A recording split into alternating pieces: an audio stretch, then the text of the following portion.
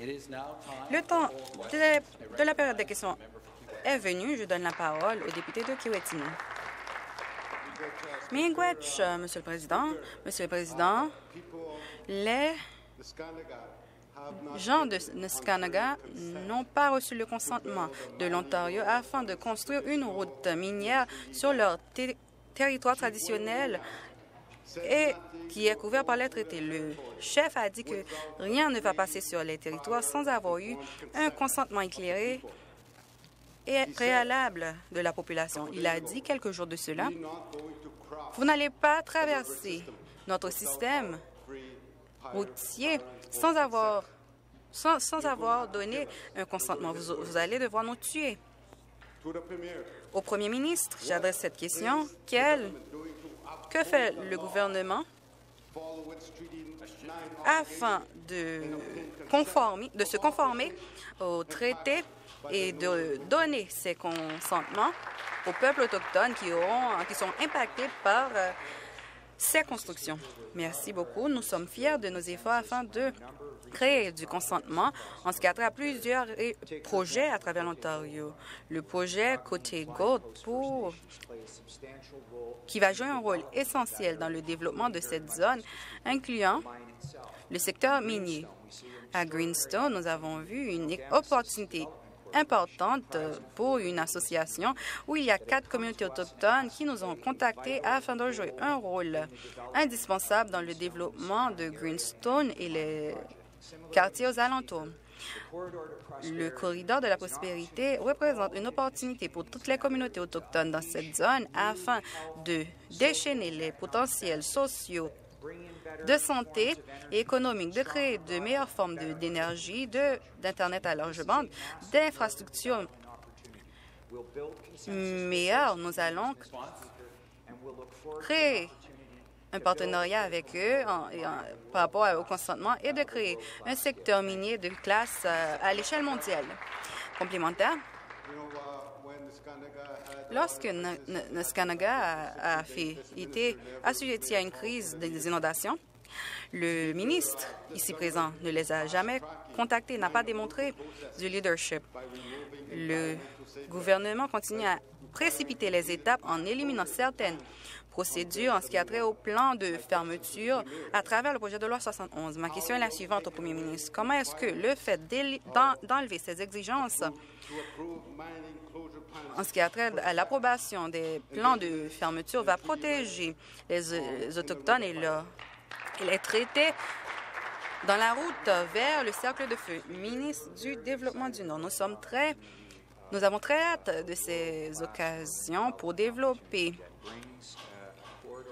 des projets de classe mondiale pour apporter de la prospérité pour des groupes qui sont isolés, qui ont besoin d'infrastructures et d'opportunités économiques pour leurs familles, ainsi que pour les communautés.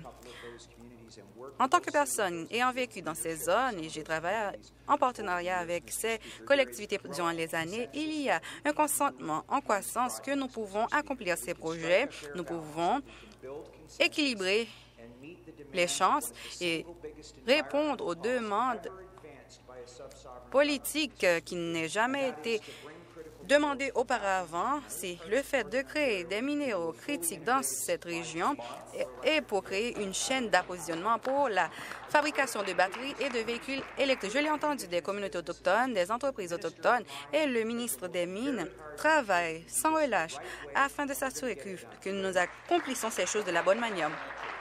Complémentaire final au premier ministre. Lors- quand ce- lorsque le gouvernement a dit qu'ils ont reçu le soutien des Premières Nations dans la région, en ce qui a trait au projet de, euh, au, au projet de la route sur le cercle de feu, c'est,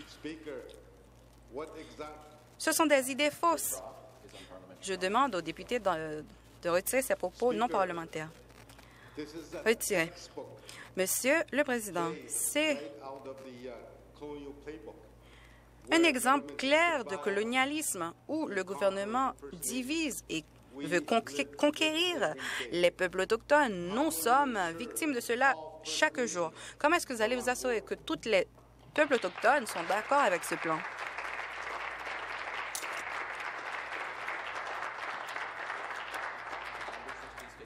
Veuillez vous asseoir. Réponse. Député ministre des Mines. Merci pour la question. C'est un projet de loi pour construire des mines, pour créer la prospérité dans le nord de l'Ontario, afin de garantir des chaînes d'approvisionnement pour les minéraux critiques qu'il y a un équilibre entre le nord et le sud de, de l'Ontario. Ce sont des plans qui se passent en Chine, en Russie, au Congo. Et nous avons besoin de ces minéraux critiques qu'ils soient sécurisés en Ontario, par l'Ontario. Il ne faut pas compromettre nos obligations de consulter les peuples autochtones, de, de ne pas compromettre les les exigences environnementales sur un projet de loi de classe mondiale qui va bénéficier à toute la population ontarienne.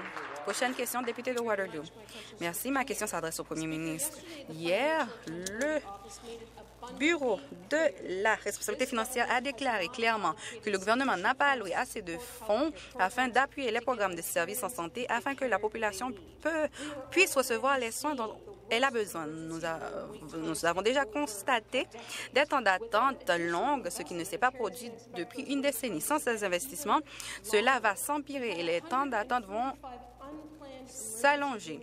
Il y a eu 145 fermetures imprévues l'année dernière. Le Premier ministre a promis d'éliminer la médecine de couloir et des gens seraient même ravis de pouvoir avoir accès à cela. Actuellement, est-ce que le gouvernement va s'engager à répondre à, cette, euh, à ce déficit de 21,3 milliards de dollars. Adjoint, ministre associé, vous avez la parole. L'opposition veut continuer à faire l'alarmiste. Nous avons investi 14 milliards de dollars depuis 2018 euh, dans le système de santé, ce qui représente 30% d'augmentation depuis 2018 dans les fonds alloués au système de santé. Nous avons ajouté plus de lits en quatre ans que le gouvernement précédent libéral appuyé par les néo-démocrates ne l'ont fait en 15 ans en 14 ans de préférence. Nous avons créé un programme, une initiative de recrutement en Ontario, dans l'histoire de l'Ontario, et nous allons continuer à améliorer le système de manière adéquate afin que la population puisse recevoir les soins dont elle a besoin et dont elle mérite. Complémentaire final. Monsieur le Président, cette province a 170 000 personnes sur les listes d'attente qui souffrent il y a 12 000 enfants qui attendent pour avoir accès à leur chirurgie. Ce n'est pas éthique, ce n'est pas acceptable de dire par le ministre que le gouvernement fait tout ce qui est possible. L'Office de la responsabilité financière, qui est autonome, indépendant, non partisan, a dit que l'Ontario va avoir moins de capacités pour dans les foyers de soins de longue durée et le statu quo dans les soins à domicile, similairement en 2018, comparément auparavant. C'est un rapport euh, important que le gouvernement devrait prendre en considération. Et donc, ma question est la suivante au premier ministre. Est-ce que le budget qui s'approche va permettre de financer vos propres plans et vos propres initiatives en ce qui a trait à la santé? Député d'Eglinton Lawrence, merci, Monsieur le Président. Notre gouvernement sait que les temps d'attente pour les chirurgie et les tests de diagnostic ont augmenté année après année. Nous l'avons dit, nous ne sommes pas d'accord avec le statu quo. Nous allons changer la donne et c'est pour cette raison nous avons annoncé notre plan innovant pour élargir ces cliniques et l'opposition s'oppose à chaque étape. L'opposition la députée de Nicobert a demandé d'utiliser les salles d'urgence davantage si elles sont disponibles. Et à Ottawa, les députés d'Ottawa, les, hôpitaux à Ottawa Centre sont utilisés, les salles d'opération sont utilisées et le député d'Ottawa Centre continue à faire de l'harcèlement des patients qui essaient de trouver des soins dans ces hôpitaux. Intervention du président a été la pendule.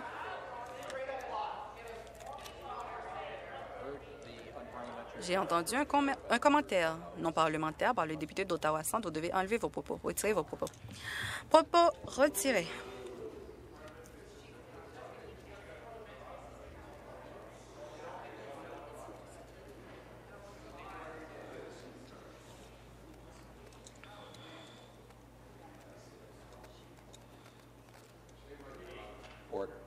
À l'ordre.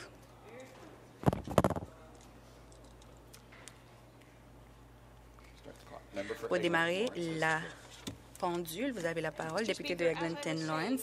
Comme je le disais, les chirurgies se produisent, euh, les chirurgies qui sont couvertes par l'assurance maladie et le député, durant le week-end, continue à faire des manifestations et empêche aux patients d'avoir accès à ces chirurgies dans les hôpitaux. Et ces chirurgies sont couvertes par l'assurance maladie.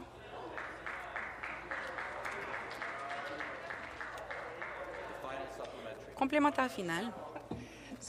Monsieur le Président, la crise réelle est dans la main-d'œuvre, dans le système de santé. Et le gouvernement continue à aller manquer du respect avec le projet de loi 124 en faisant appel à une décision juridique qui a déclaré que ce projet de loi était inconstitutionnel. Les travailleurs de la santé sont épuisés et sous-payés et le gouvernement peut parler de leur prétendue stratégie de recrutement. Il ne faut pas recruter les travailleurs dans un système qui est brisé, mais se concentrer à aider ceux qui travaillent là-dedans.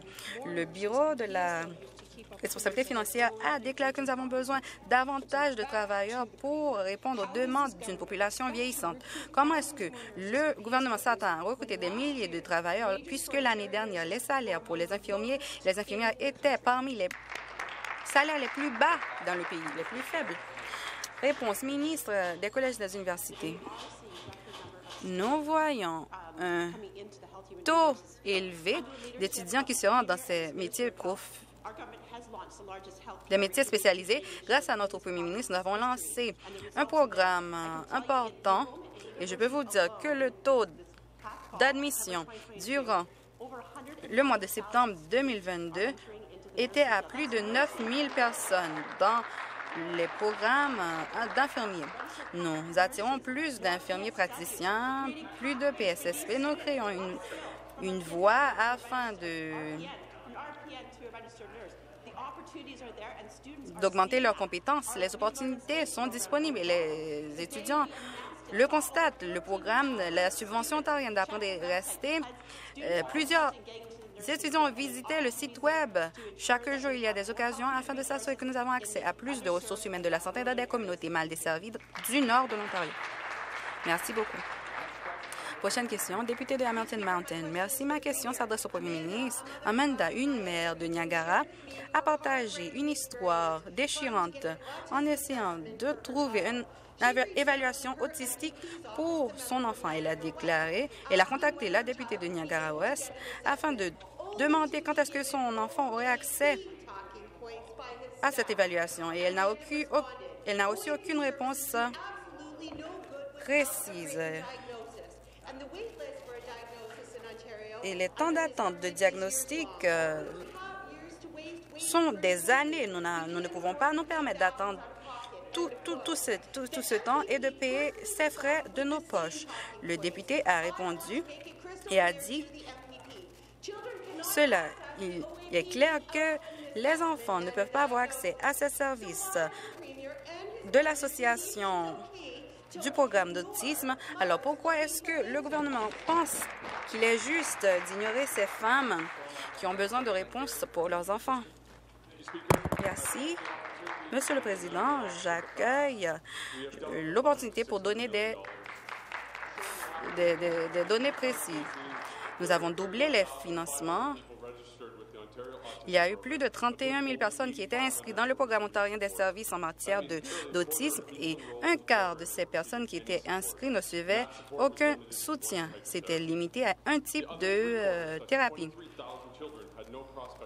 23 000 personnes, 23 000 enfants ne s'attendaient même pas à recevoir du soutien du gouvernement libéral. Plus de 40 000 personnes d'enfants atteints d'autisme vont recevoir du soutien à travers plusieurs aspects, ce qui représente cinq fois de plus depuis que nous sommes montés au pouvoir. Complémentaire, nous voyons une tendance en croissance. Le gouvernement, le député ne comprend pas la différence entre le programme ontarien des services en matière d'autisme et le fait de recevoir des tests, des résultats des tests. Amanda a contacté le député en ce qui a trait aux arriérés. Cependant, elle s'est sentie dérespectée et le député peut continuer à offrir de beaux propos, mais elle a dû chercher d'autres services ailleurs dans d'autres pays. Elle a posé la question à maintes reprises et qu'est-ce que le gouvernement va faire pour ces listes d'attente, pour changer cela? Il n'a même pas pu répondre à cette question. Comment est-ce que les familles en Ontario peuvent se confier au gouvernement lorsque leurs propres euh, députés ne veulent pas les écouter et n'ont aucune suggestion autre que le fait de laisser cette province? Comment est-ce que ce, ces familles en Ontario peuvent avoir accès à ce programme lorsque cela prend des années pour avoir accès à ces évaluations? Réponse, leader parlementaire du gouvernement. Pour être clair, la députée de l'opposition dit que parce qu'elle n'est pas d'accord avec nos politiques en tant que gouvernement, que la bonne chose à faire, c'est d'attaquer ceux qui travaillent dans les bureaux de circonscription. L'un des députés qui travaille de manière anarchique pour la population. Je n'ai jamais vu une autre députée le fait d'attaquer les bureaux de circonscription s'ils ne sont pas d'accord avec nos politiques, peut-être euh, il n'y a pas de problème si vous êtes en, en désaccord. Mais le fait de n'attaquer pas ceux qui travaillent dans nos bureaux de circonscription. Je vais vous rappeler à la députée de l'opposition que c'est ce député de Niagara Falls qui a déposé un projet de loi pour améliorer les hôpitaux après des années d'échecs, d'effondrement de, de l'autre côté de la Chambre. C'est grâce à ce député qui a réparé la situation, un programme en matière d'autisme, ce député qui a permis au recrutement de milliers et d'infirmières. Intervention du président, arrêtez la pendule.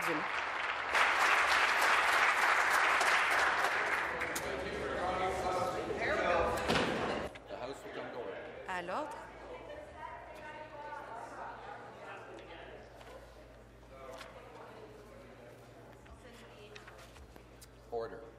À l'ordre.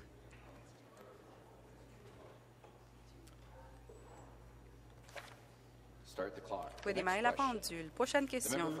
Député d'Essex. Merci. Ma question s'adresse au ministre du Développement économique de la création d'emplois et du commerce. Notre secteur de la fabrication de classe mondiale emploie des milliers d'employés par année, plus de 600 000, et est moteur économique dans ma circonscription des sexes. Lorsque le gouvernement précédent libéral avait annoncé que l'Ontario et notre économie allaient changer de la production de biens et de services, ils n'étaient pas préparés à cet exode d'emplois. Ils étaient un gouvernement sans planification.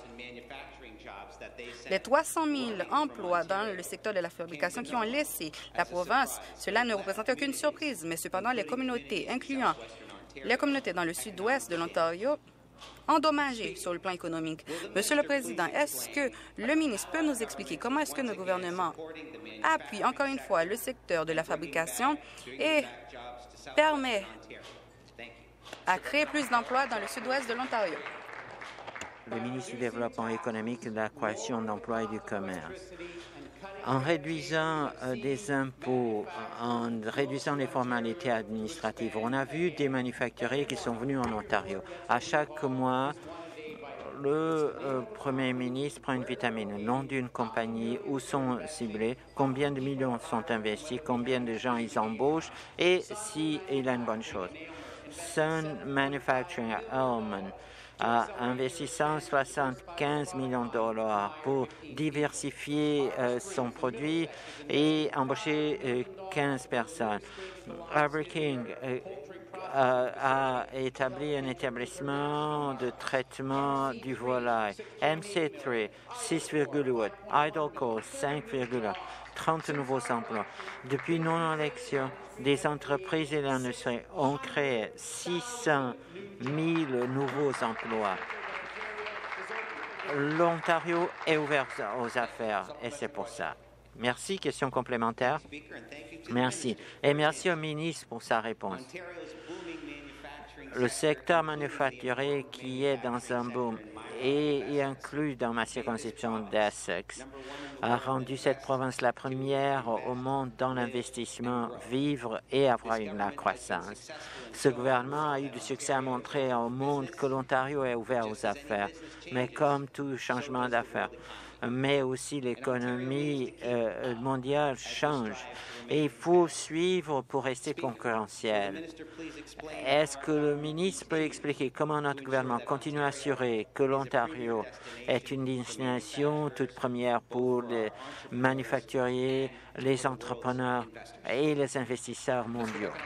Le ministre du Développement économique les libéraux, appuyés par les néo-démocrates, avaient tourné le dos aux entreprises et 300 000 emplois ont laissé l'Ontario pendant leur règne. Ce gouvernement, on a demandé qu'est-ce que vous avez besoin pour revenir en Ontario? Ils nous ont dit réduire les impôts, moins de formalités administratives et il faut réparer le gâchis dans l'électricité des libéraux et livrer la marchandise. On a exactement, on a réduit le coût pour les entreprises de 7 milliards de dollars et ces entreprises sont de retour. L'exode est terminé. Ces compagnies ont embauché 600 000 hommes et femmes depuis quatre ans et demi. Les compagnies ont récemment annoncé des millions et on a ajouté de milliers de nouveaux emplois parce qu'ils savent que l'Ontario est maintenant le meilleur endroit au monde où investir et avoir du succès. Merci. Question suivante, la députée de Parkdale High Park. Merci.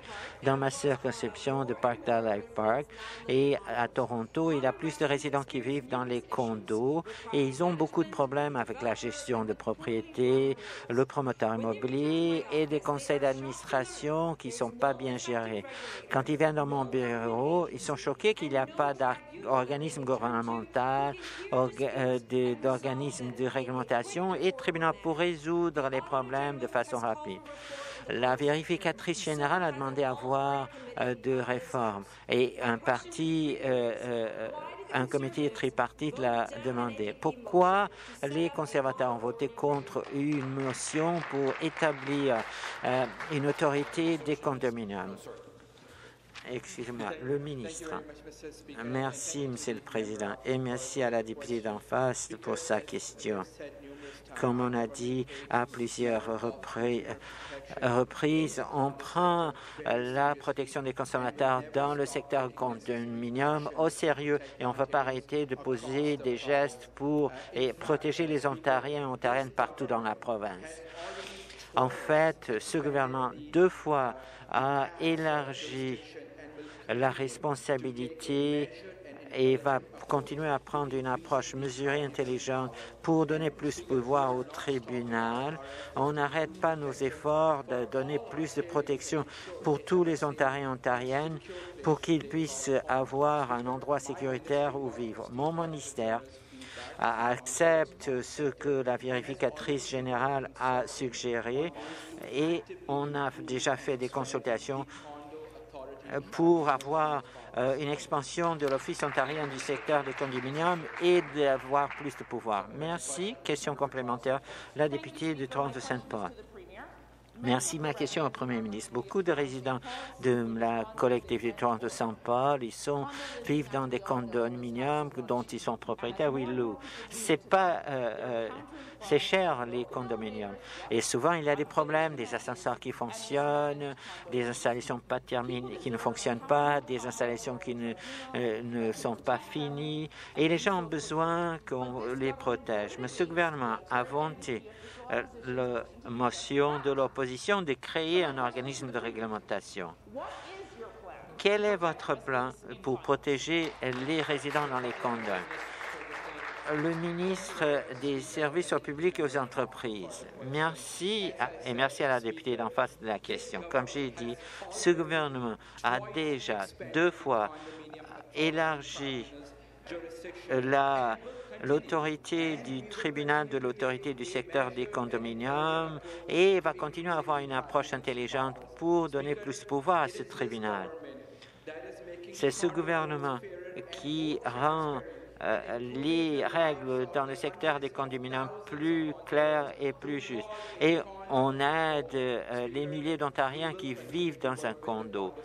On va continuer à travailler avec le secteur des condominiums, avec des changements apportés par les suggestions de la vérificatrice générale, afin que les gens euh, dans les condominiums et les traitements qu'ils méritent d'avoir. Question suivante. La députée de Flamroad Granbrook. Merci. Ma question s'adresse au ministre de l'Éducation. Comme la population d'Ontario continue à grandir, il est, essentiel que notre gouvernement, euh, que notre système donne la formation pour préparer les élèves pour les, euh, emplois de l'avenir. Pendant 15 ans, on a euh, euh, on a ignoré les besoins euh, des élèves euh, quand il y avait une croissance économique. On a vu une réduction dans les certificats d'apprentissage et des diplômes des métiers spécialisés. En même temps, la population de la province a besoin d'avoir des emplois bien payants et dignes pour avoir du succès. Est-ce que le ministre peut expliquer quelles mesures notre gouvernement a adoptées pour fermer les lacunes dans les aptitudes et, afin qu'on puisse remplir les emplois en Ontario. Le ministre de l'Éducation. Merci. Je veux remercier la députée de Flamborough-Glenbrook pour cette question. Nous croyons que chaque élève dans la province doit avoir une voie, un bon emploi bien payant. Et c'est pourquoi on a modernisé le programme scolaire en mathématiques, en sciences, en sciences des ordinateurs, l'informatique, et pour que ces gens puissent avoir l'avantage pour sauver un emploi. On a élargi un programme et les élèves au secondaire peuvent prendre les cours collégiaux pour, pendant leur formation en stage.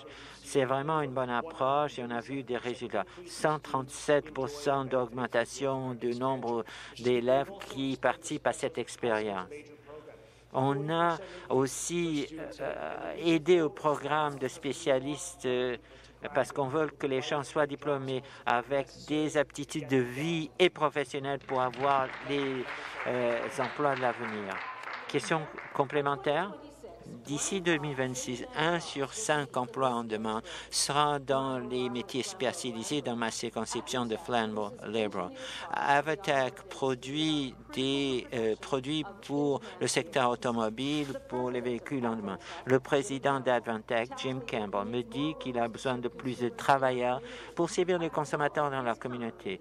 On m'a dit que sa compagnie manque au moins de 8 travailleurs. Jim a besoin de machinistes et d'autres travailleurs techniciens qui vont aider son entreprise à avoir de la croissance. Monsieur le Président, je sais que c'est un problème que beaucoup d'entreprises en Ontario. Est-ce que le ministre peut nous dire comment notre gouvernement relie les jeunes avec des emplois en Ontario de l'avenir? Le ministre de l'Éducation. Merci. Je pense que la députée a raison. Il faut connecter les jeunes mieux aux emplois. Il y a des centaines d'emplois, des milliers d'emplois même qui ne sont pas remplis. Et donc, il faut s'assurer que les jeunes soient connectés pour qu'ils puissent prendre l'emploi. Parce qu'un emploi, ça veut dire une vie de dignité, de pouvoir s'acheter une maison, de avoir un objectif dans la vie dans la province. Et tout le monde veut l'avoir. C'est pourquoi hier, j'étais avec le premier ministre de l'Ontario pour annoncer qu'on va connecter et donner la possibilité aux élèves après la dixième année d'être directement dans les métiers spécialisés. Pour avoir une voie accélérée à la formation professionnelle. Et ça va aider à cette lacune de main-d'œuvre qu'on a dans les métiers spécialisés. Je suis content de travailler à nos partenaires dans le secteur public. On était tous ensemble avec une motion pour aider ces jeunes à avoir du succès. Merci. Question suivante, le député d'Ottawa Centre. Merci. Ma question s'adresse au Premier ministre. Euh, la patinoire du canal Rideau est fermée euh, cette fois euh, depuis, pour la première fois depuis 1971 quand ça a commencé. C'est une perte pour le tourisme. Les experts disent que c'est la faute du changement climatique. Et il faut quand même indiquer l'inaction de l'Ontario sur le changement climatique. On est dans une urgence climatique. Quand est-ce que ce gouvernement va agir? En conséquence? Le ministre de l'Environnement, de la Protection de la Nature et des Parcs parc. Merci, j'apprécie la question du député en face. Quand il y a à agir pour avoir un environnement plus durable, ce gouvernement agit.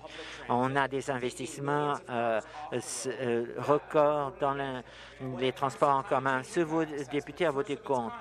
Quand il l'évaluation environnementale, premier, ce député a voté contre des engagements pour avoir du logement construit pour la prochaine génération, il a voté contre. Quelle est ça la solution? C'est de punir les familles de classe moyenne à faible revenu avec une taxe carbone qui punit les gens, qui fait partir des emplois et qui a pourvu toute une génération d'Ontariens et Ontariennes.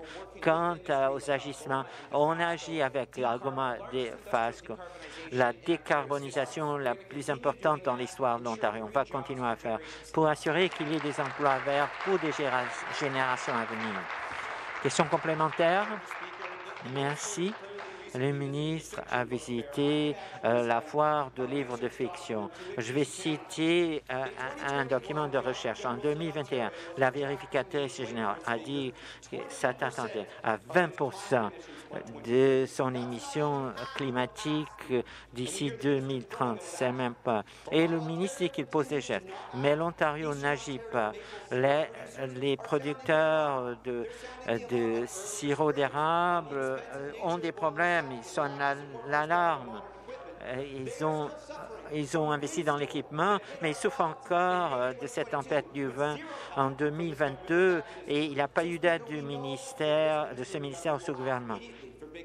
Et ce euh, ministère va agir pour les grands pollueurs. Mais qu'est-ce qu'ils vont faire pour aider les petites et moyennes entreprises qui composent avec une urgence climatique? Le ministre de l'Environnement il parle de travailler avec l'industrie. Oui, je suis avec la, aussi avec les chefs des syndicats afin qu'on puisse créer la prochaine génération pour les jeunes qui puissent avoir des emplois. Mon grand-père est venu, il a travaillé dans le secteur de l'acier.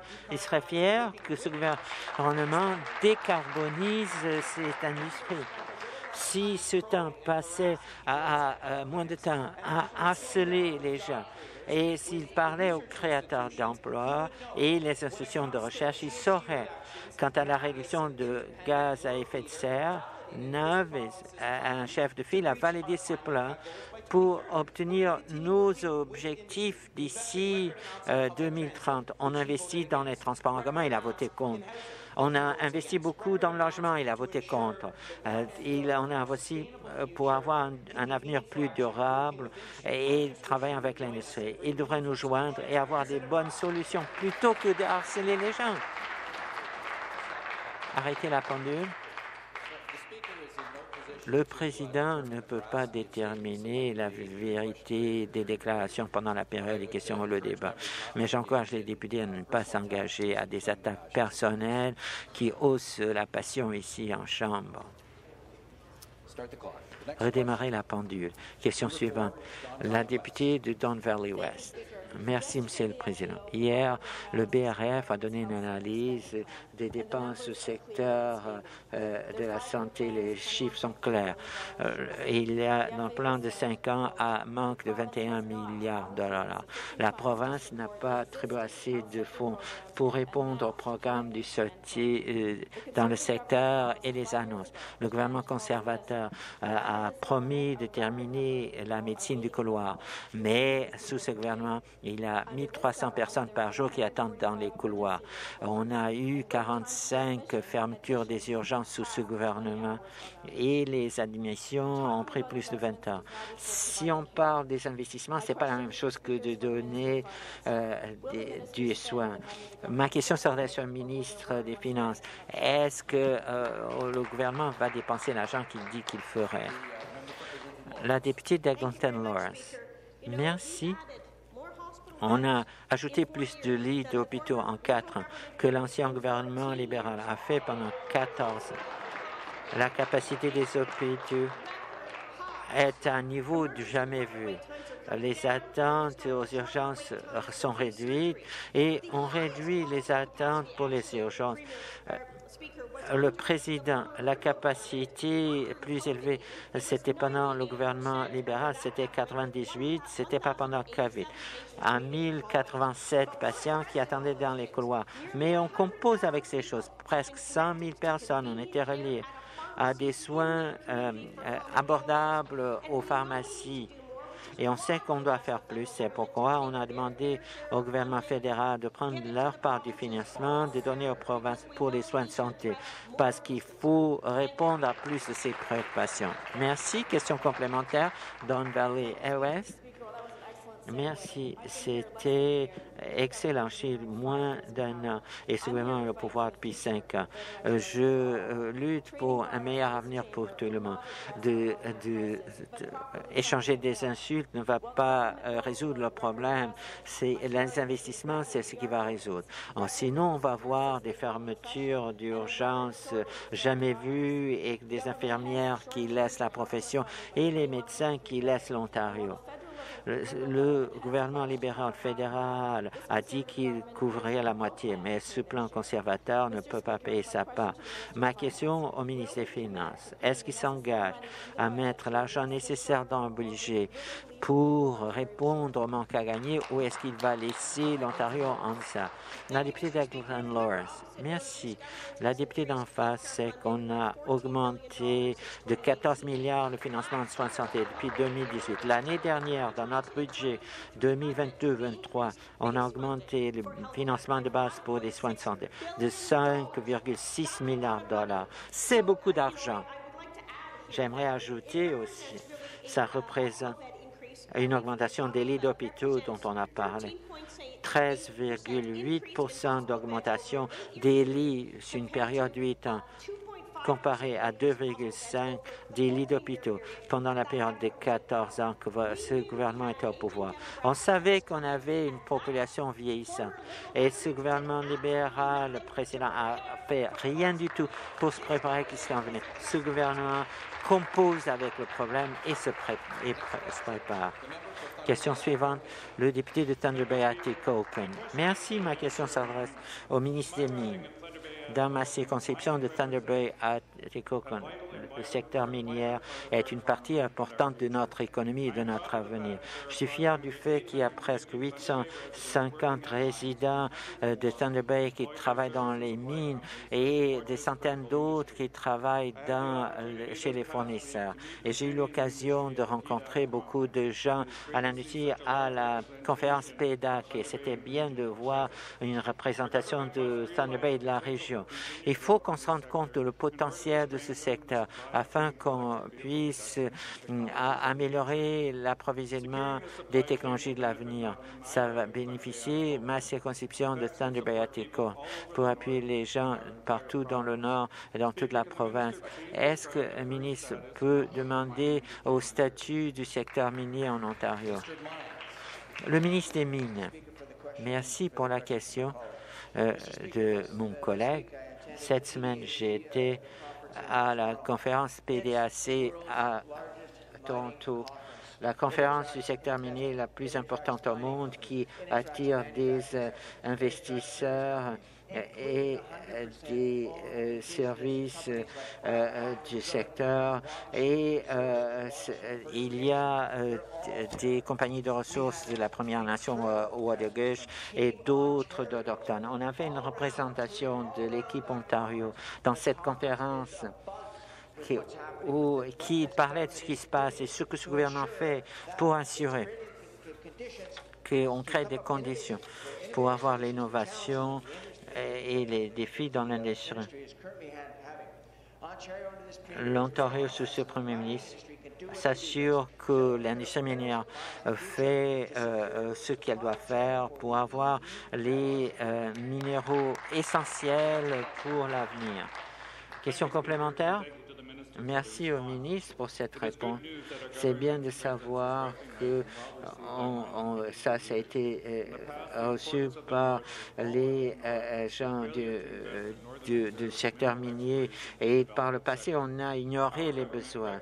Notre gouvernement reconnaît l'importance du Nord. Il doit être proactif et regarder vers l'avenir et savoir que l'industrie est positive pour le secteur.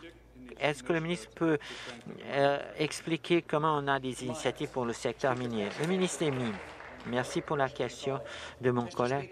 Monsieur le Président, notre gouvernement, sous le leadership du Premier ministre Ford, a une vision claire pour cette province. Nous sommes le premier gouvernement qui veut relier les chaînes d'approvisionnement dans le Nord afin que tous les Ontariens et Ontariennes puissent participer des avantages.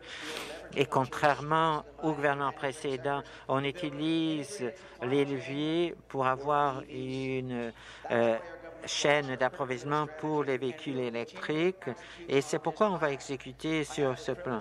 J'ai eu le privilège d'annoncer la prochaine ronde du, fonds pour les développements euh, relativement au secteur pour qu'on puisse aider euh, pour les minéraux essentiels et ou critiques et qu'on puisse euh, l'avoir. Il y a trop de projets qui ont du succès et donc j'ai pas le temps de parler de ce fonds, mais ce que je peux dire, c'est que en Ontario, on fait des investissements stratégiques pour aider le secteur. Merci. Question suivante, le député de Spadina Fort York. Merci. L'année avant la dernière élection, ce gouvernement a adopté des mesures législatives qui utilisaient la clause de dérogation pour tirer les travailleurs, le droit des travailleurs pour enlever de la publicité critique du gouvernement. Mais la Cour d'appel de l'Ontario a dit que ce, projet de loi, cette loi piétinait le droit des électeurs. Est-ce que ce gouvernement va poser des excuses du droit qu'on a à avoir une élection? Euh, juste? Réponse du procureur général. Comme le député d'en passé, je ne peux pas parler de ce procès qui est devant les tribunaux. On va faire un appel. Nous sommes déçus avec les résultats et on a hâte euh, d'avoir euh, à la Cour suprême la dissension soit traitée. Question complémentaire?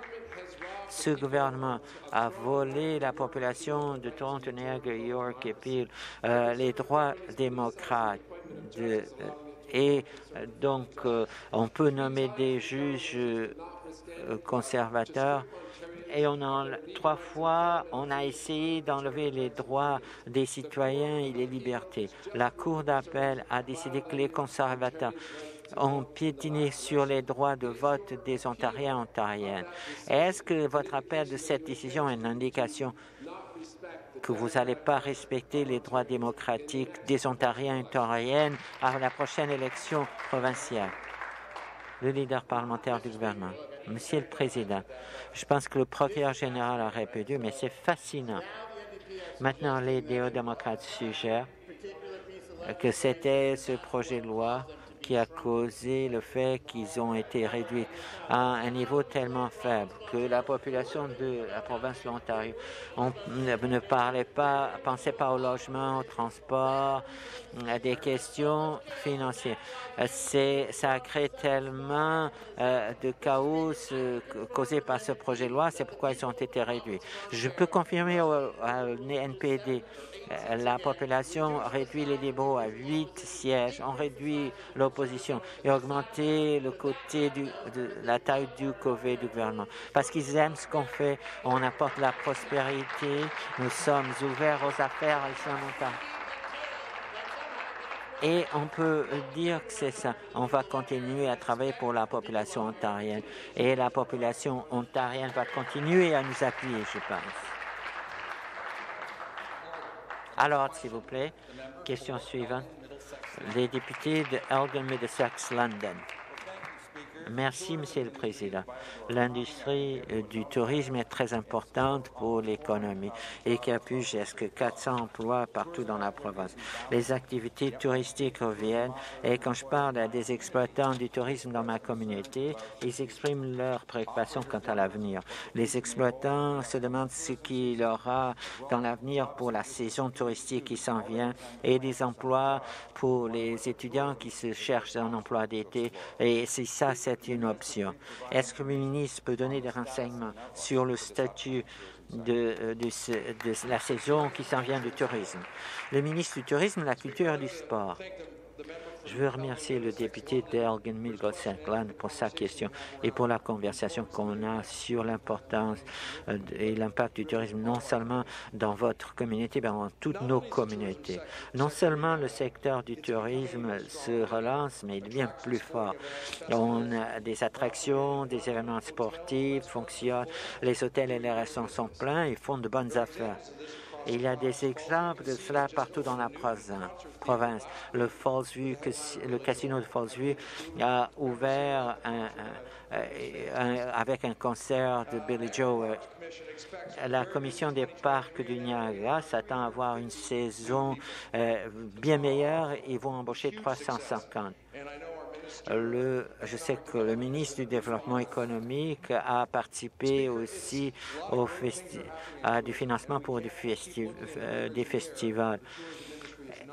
L'industrie du tourisme, il y a des gens très intelligents et ça se porte bien.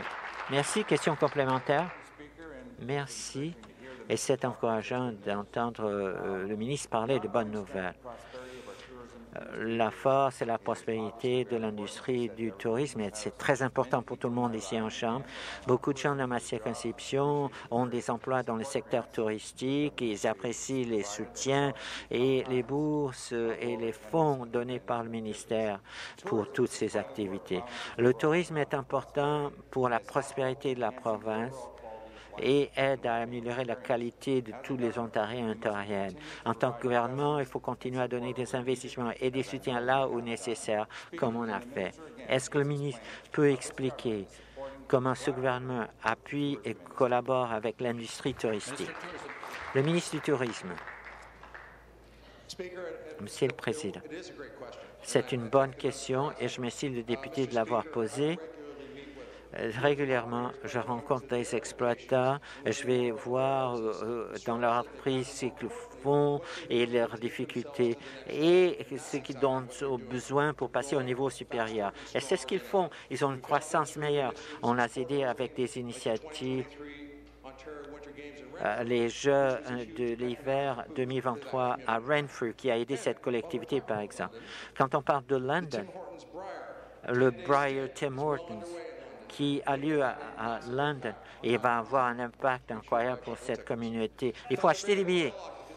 Euh, le taux d'occupation des hôtels à Thunder Bay a augmenté et le ministre de l'Éducation a parlé d'aider les gens à l'école secondaire pour qu'ils se trouvent un meilleur emploi, une meilleure occasion. Et beaucoup de ces gens vont travailler dans l'industrie touristique où il y a de bonnes occasions, de bonnes carrières. Et j'espère et je sais qu'il va avoir un lien entre les écoles secondaires et le tourisme. Nouvelle question, la députée de Hamilton West, Ancaster Dundas. Question pendant une crise de santé mentale, on perd deux agences de soins de santé mentale. L'Association canadienne de santé mentale doit prendre des services. C'est une euh, agence qui a des problèmes. On a déposé une motion pour donner un financement de stabilisation à l'association et les conservateurs ont voté non. Pourquoi vous ajoutez à la crise en reliant des, des financements à des services essentiels? Député d'Eglinton Lawrence. Merci, Monsieur le Président. Je voudrais remercier la députée d'en face pour sa question. Évidemment, la santé mentale, c'est une grande priorité pour notre gouvernement et c'est pour cette raison que lorsqu'on a été élu, on, a formulé une promesse d'investir 3,8 milliards de dollars en santé mentale et des dépendances, et c'est ce qu'on a fait tous les ans. Il y a une augmentation du financement, de annualiser euh, pour 525 millions de dollars pour différents groupes communautaires pour s'assurer que les gens ont les soins nécessaires, des soins culturellement appropriés. Donc, on est très fiers des investissements, 525 millions de dollars de plus supplémentaires par année qui est un investissement important dans le secteur et nous allons continuer d'en faire plus. Complémentaire, ma question est allée au ministre de, la Santé mentale. Lorsque les jeunes personnes n'ont pas euh, l'aide qu'ils ont besoin, ils ont recours aux services d'urgence. Et nous savons que ce gouvernement a sous-financé les secteurs de 6 milliards de dollars en santé. Et les intervenants de la santé souffrent et Vern Lewis euh, a dû souffrir à cause de tout ce qui s'est passé avec son fils.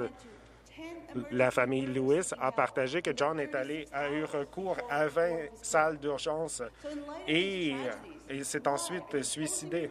Donc, pourquoi est-ce que vous êtes en train de fermer vos portefeuilles et vos cœurs envers les gens qui souffrent? ministre associé de la santé mentale et des dépendances. Merci pour la question de quand on a à partir du moment où on a été élu, on a décidé d'apporter des investissements records en santé mentale et des dépendances et nous travaillons avec tous les partenaires, euh, les parties prenantes et avec euh, la CAMACH, entre autres, pour bâtir un continuum de soins. Nous sommes le gouvernement qui a établi la feuille de route pour la santé mentale et qui a créé un ministère qui se concentre sur la santé mentale et de créer les réseaux nécessaires pour offrir les soutiens aux personnes. Nous avons identifié où ces écarts se retrouvent avec 525 millions de dollars annuellement supplémentaires. Nous sommes en train de réduire les écarts et de s'assurer que toutes les personnes ont les soutiens, les soins, les lorsqu'ils en ont besoin et où ils sont. Prochaine question, député de Cambridge. Merci, Monsieur le Président. Ma question est pour le ministre des Richesses naturelles et de la foresterie. Nous sommes connus pour nos ressources naturelles abondantes. Nous avons un quart de million de lacs, euh, près de quatre grands lacs et 490 000 kilomètres de cours d'eau qui offrent de bonnes occasions de pêche aux résidents et aux touristes moi, je profite d'eux personnellement. Nous apprécions que nos voisins et d'autres touristes veulent euh, saisir ces occasions. Les gens qui voyagent dans la province pour pêcher et chasser doivent suivre différents règlements que les résidents. Il y a eu des questions concernant euh, l'incidence du tourisme récréatif sur l'environnement et le tourisme. Est-ce que le ministre peut nous expliquer comment on a répondu à la croissance dans le tourisme à des fins de profiter des richesses naturelles de la province. Ministre des richesses naturelles et de la foresterie, nous euh, avons euh, nous sommes chanceux, c'est une bénédiction d'avoir euh, toute cette richesse naturelle autour de nous et nous travaillons à tous les jours pour assurer qu'on gère d'une manière durable cette ressource pour les générations de l'avenir. Une chose qu'on fait avec la chasse et les pêches et les règlements et l'octroi de permis, c'est qu'on réinvestit cet argent dans ces programmes tels que le stockage de 8 millions de poissons.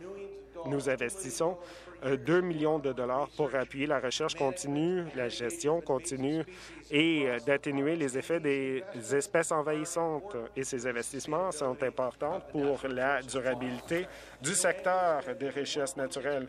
Les pêcheurs dépensent 1,6 million de dollars par année. Donc, merci aux députés de Cambridge de faire partie de ce groupe et de créer des emplois dans le nord de l'Ontario. Complémentaire. Merci, Monsieur le Président, et merci au ministre pour sa réponse. C'est très bien d'entendre que les activités récréatives, de la chasse et de la pêche continuent de croître de manière durable. Et avec les journées de pêche familiale, plus de familles peuvent profiter de ces activités sans devoir s'acheter un permis Ces périodes de pêche gratuite font en sorte que c'est plus abordable et accessible de profiter de tout ce que la province a à offrir. Les gens de ma circonscription veulent en apprendre plus concernant les occasions pour les activités récréatives à l'extérieur. Est-ce que le ministre peut nous expliquer comment les Ontariens et Ontariennes peuvent avoir accès à l'information concernant des activités récréatives dans les communautés partout dans la province? Le ministre des Richesses naturelles et des Forêts. Merci au ministre, encore, euh, au député encore une fois, pour sa question. Euh, la fin de semaine euh, de pêche gratuite durant la fin de semaine euh, du jour de la famille. Ce fut une euh, fin de semaine extraordinaire. J'ai pu rencontrer plusieurs pêcheurs. Ce fut extraordinaire. Vous savez que la foire pour euh, les activités récréatives à l'extérieur s'en vient. C'est une chance pour partager cette passion avec des personnes qui sont aussi passionnées. Ça a lieu du 12 au 18 mars à Mississauga-Malton. Il y aura beaucoup de détaillants ce qui comprend Destination Ontario, euh, Canard illimité. Donc, j'encourage tout le monde d'y aller, de fréquenter euh, cet événement et de venir nous parler à notre kiosque du ministère pour qu'on puisse vous parler de tous nos efforts en matière de conservation et tous les programmes qu'on a en place pour les pêcheurs, les chasseurs. Euh, c'est une très bonne occasion pour démontrer tout ce qu'on a à offrir ici dans la province. Merci. Prochaine question. Député de Bay supérieur Nord. Merci, Monsieur le Président. Il y a plus d'un an, j'ai appris que les étudiantes des, soins infirmiers quittent la profession immédiatement après leur placement en hôpitaux en raison des charges de travail accablantes euh, auxquelles ils ont, euh, ont vécu.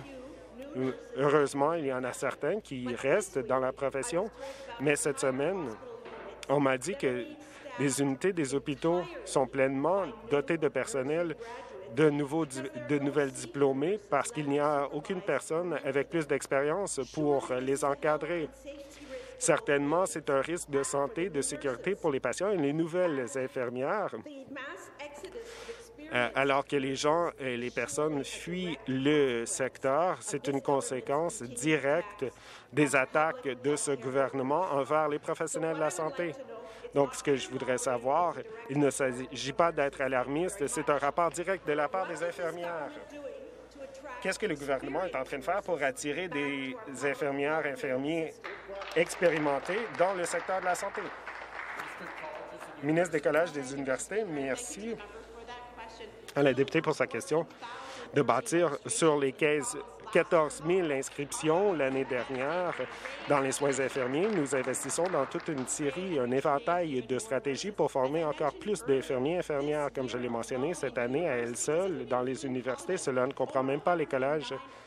Plus de 109 000 inscriptions ont eu lieu euh, au mois de septembre de 2022. On a vu une augmentation chaque année de, personnes qui se lancent dans cette carrière.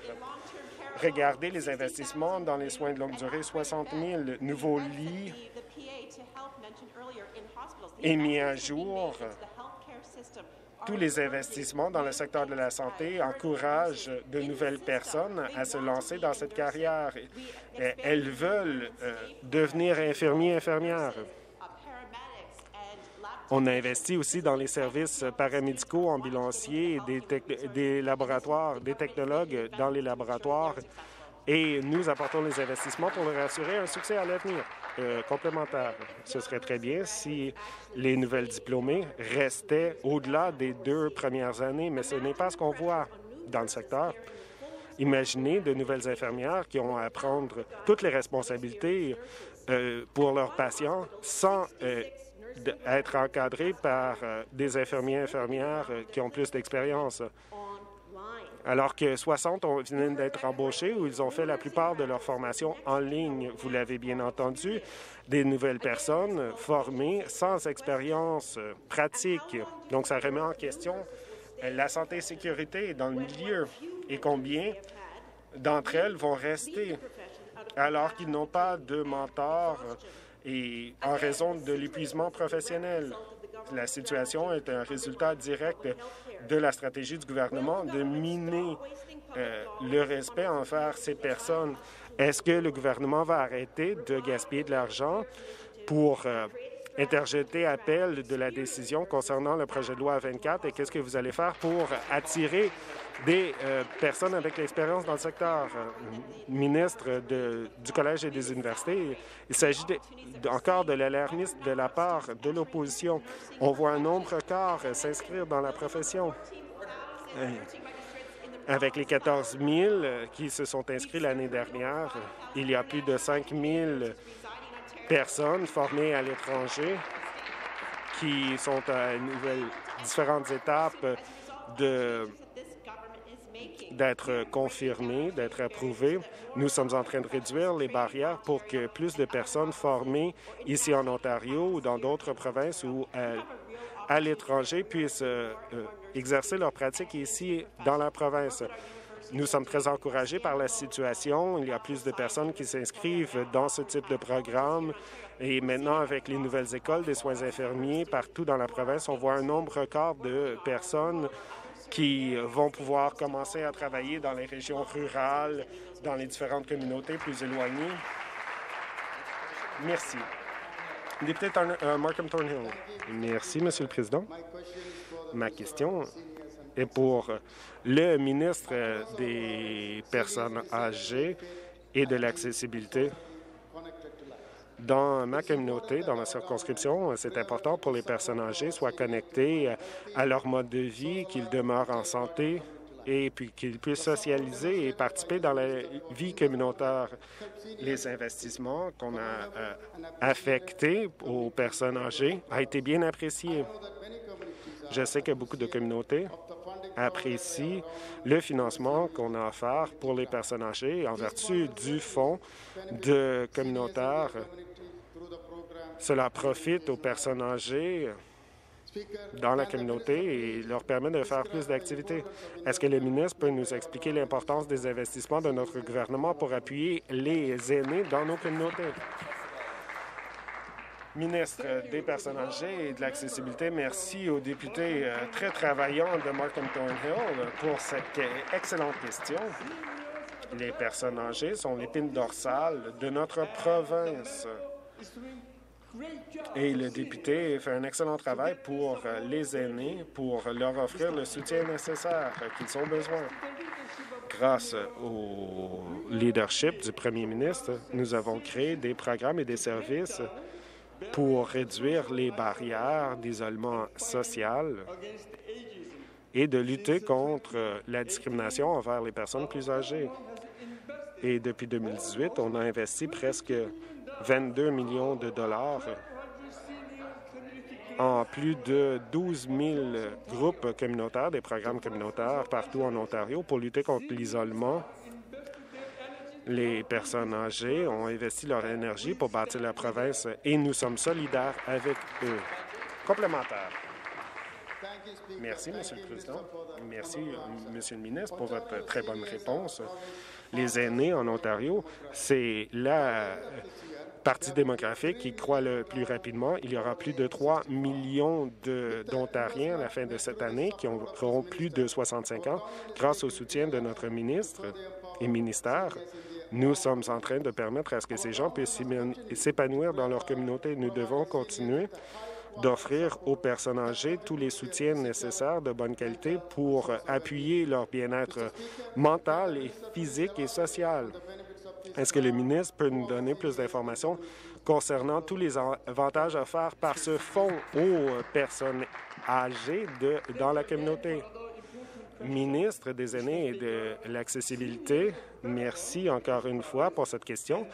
Les personnes âgées sont l'épine dorsale de notre province et ils méritent d'être euh, traités avec respect et dignité. Ils ont permis de bâtir la meilleure province au monde et c'est pour cette raison qu'on a investi dans des programmes qui permet à ce que ces gens demeurent actifs en santé et connectés socialement. Depuis 2018, notre gouvernement a investi 59 millions de dollars en 300 centres d'activités communes pour faire la promotion de programmes connectés de santé physique et sociale. Et c'est essentiel pour lutter contre la discrimination envers les personnes âgées. Cela conclut la période des questions de ce matin.